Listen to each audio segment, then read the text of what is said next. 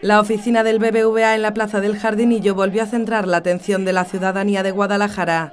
La plataforma de afectados por la hipoteca se concentró nuevamente a sus puertas exigiendo soluciones para María, la septuagenaria que lucha para que no le quiten su piso. La propia María, acompañada por miembros de la plataforma, entró a la sede del BBVA mientras fuera una veintena de personas protestaba por la actitud de los bancos. Tras su salida, María explicaba que nada había cambiado, que no podía aceptar la propuesta del banco y que mantendría su lucha. Yo no he trabajado muchísimos años para que ahora me den, como me quieren ofrecer, una limosna. Yo no estoy pidiendo limosna, estoy pidiendo mi piso, por lo menos en su fruto para mi hijo.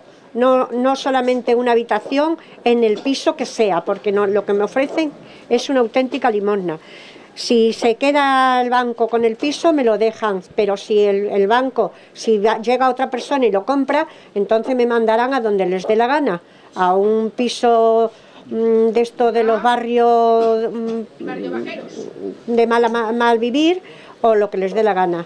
Y en efecto, para mi hijo, como máximo cinco años, pagando nosotros todos los gastos, manteniéndoselo perfectamente, en fin una cosa que no nos conviene, que yo no quiero mm, ser ahora de, vejez, vivir de limosna.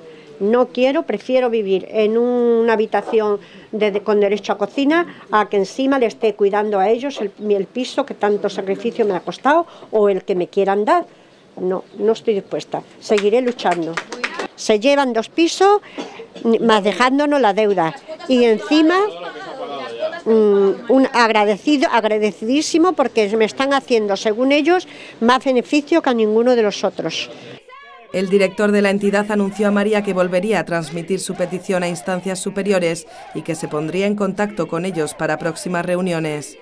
Los concentrados mantuvieron su protesta frente al BBVA, que a diferencia de en anteriores ocasiones no cerró por completo sus puertas. Hay que recordar que el banco ya desahució a Pedro, hijo de María, de su casa que había comprado y que requiere también la propiedad de su madre porque ésta hizo de avalista de su hijo.